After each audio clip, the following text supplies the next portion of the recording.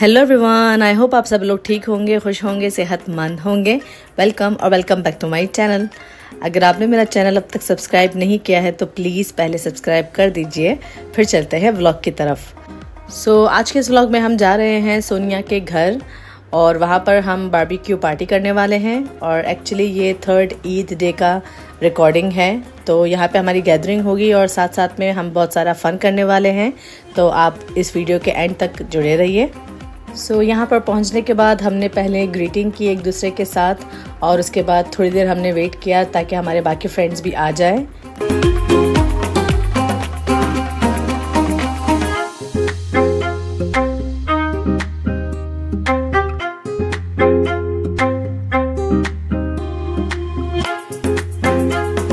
और ये है मेरा ईद का आउटफिट मुझे इस कलर कॉम्बिनेशन में कोई ड्रेस बनवाने का काफ़ी टाइम से मन था तो मैंने सोचा कि इस ईद में मैं ज़रूर बनवा लेती हूँ. तो ये शिफॉन का कपड़ा है फैब्रिक शिफॉन का है और इस पर मैंने वाइट लेस लेके इस तरीके से डिज़ाइनिंग से बनवाया है टेलर से. सिंपल सा है बट मुझे अच्छा लग रहा था तो मैंने बनवा लिया. और यहाँ पर हम बारबेक्यू ग्रिलिंग ट्रे लेकर टेरेस पे आ गए थे. और यहाँ पे कैस कोल जला रहा था और हम सब वहीं पे बैठ के थोड़ा चाय का वेट कर रहे थे ताकि हम चाय पिए और जब तक ये प्रिपेयर होता है, हमने बहुत सारी बातें की।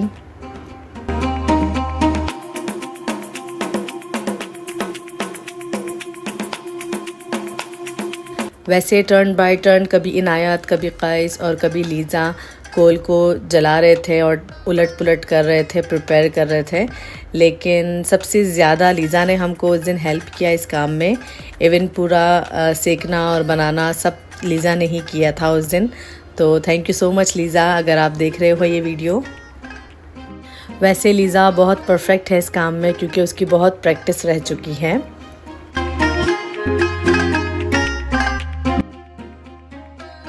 और निज़ार और मोइज़ भी आ गए थे, बस इनका ही वेट हो रहा था। तो फाइनली ये लोग भी आ गए और जितने आपको लोग दिख रहे हैं, बस हम लोगों की गैदरिंग थी आज।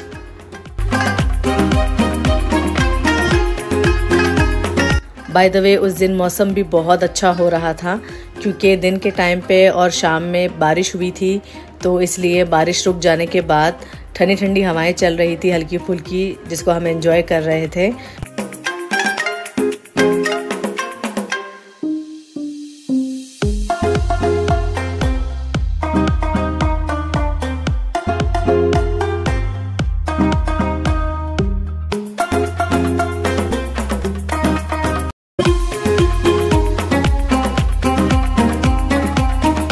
और फिर ग्रीन टी आ गई थी तो हम ग्रीन टी पीने लग गए थे। वैसे भी मौसम इतना अच्छा हो रहा था तो ग्रीन टी को हमने डबल एंजॉय किया। और इसके साथ साथ मैं आपको जैसे बहुत दफ़ा बता चुकी हूँ कि हमारी जो गैदरिंग्स होती हैं या जो हमारे कल्चर में कोई भी मीटिंग होती है गैदरिंग होती है सिंपली हम मिलने भी जाते हैं कहीं पे तो ग्रीन टी तो कंपलसरी होता है।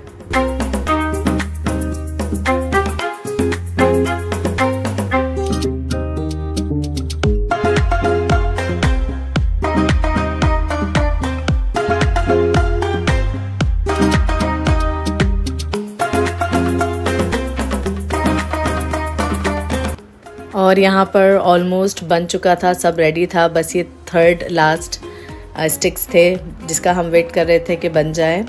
और इसके बाद हम नीचे घर पे चले गए थे और यहाँ पर सोनिया सब कुछ प्रिपेयर कर रही थी किचन में। और मैं चली गई अपनी व्लॉगिंग करने के लिए।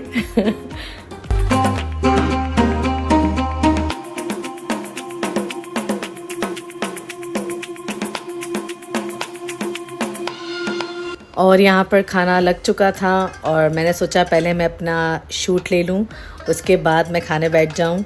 By the way chicken barbecue भी बहुत टेस्टी बना था और इसके साथ साथ जो चटनी बनी थी, वो तो बहुत ही ज़्यादा स्पेशल था। जो हमको नॉर्मली चाहिए होता है, जैसे बहुत फीका भी नहीं और बहुत ही फीका भी नहीं मीडियम जो चाहिए होता है हमें टेस्ट वो उसी टाइप का था एवरेज था। और हमें, हम सबको ही वो पसंद आया, सब कुछ ही बहुत पसंद आया।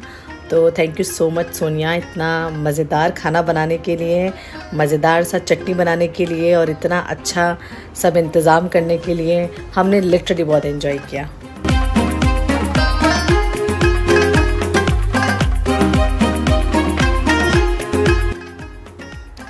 और खाना खा लेने के बाद हमने एक या डेढ़ घंटा तो सिर्फ़ गपशप किए हैं, यहाँ वहाँ की बातें की।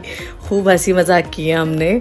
और उस पूरे दौरान हम मोबाइल यूज़ करना या मैं व्लॉगिंग करना ही भूल चुकी थी। हमने इतना इन्जॉय किया। उसके बाद फिर सोनिया हमारे लिए थोड़ा आइसक्रीम लाई और हमने आइसक्रीम खाया।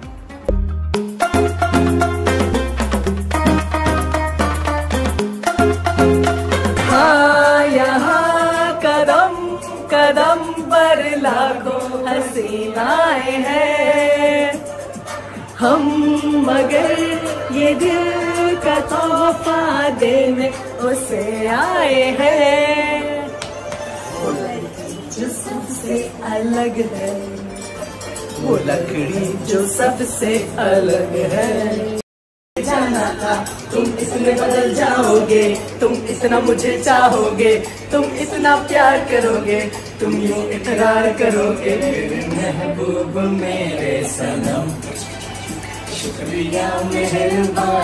करम। मेरे महबूब मेरे सनम।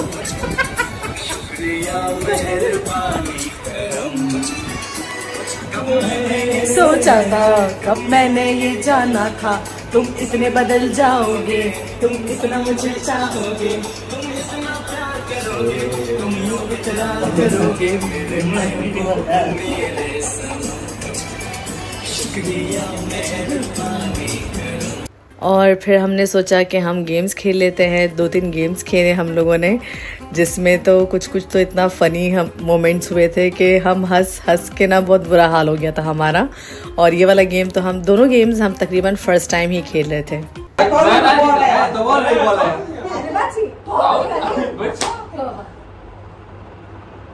रखो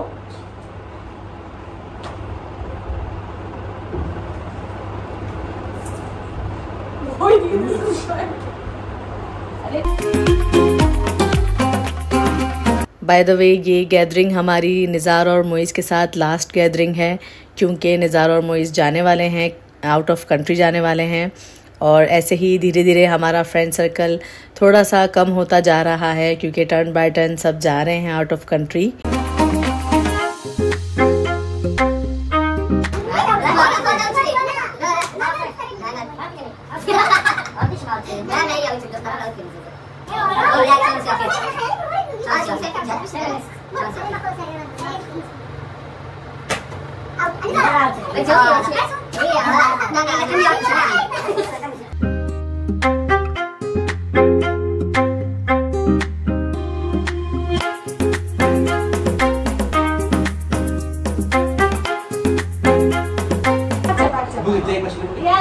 एक मछली। पानी में गई।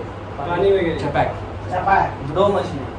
पानी दो मछली जूस ना पानी में गई पानी में गई पानी में गई चपैक चपैक तो दो मछली ना तीन मछली तीन मछली तीन मछली ना सिर्फ बोल दे तीन मछली तीन मछली तीन मछली ना Om saya makan ada tak? Ada ada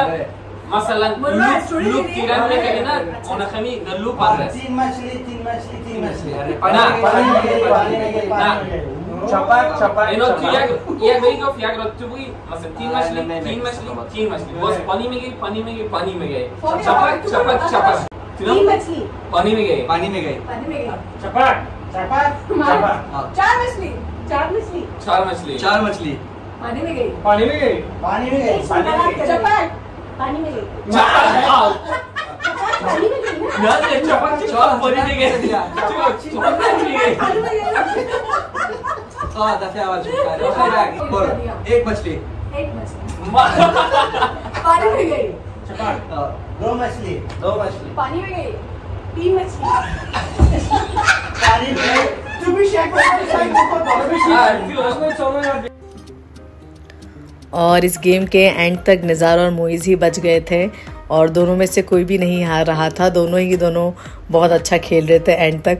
but हमको रोकना ही पड़ा तो इसलिए दोनों के दोनों जीत गए साथ। और बस आज के लिए सिर्फ़ इतना। आप सब लोग अपना बहुत ख्याल रखिए और उम्मीद करती हूँ कि आपको मेरा ये व्लॉग अच्छा लगा होगा और आपकी ख़ुद की भी ईद अच्छी गुजरी होगी, जो लोग ईद मनाते हैं। तो मिलते हैं नेक्स्ट व्लॉग में। आप सब लोग अपना बहुत ख्याल रखिए। Tata bye bye take care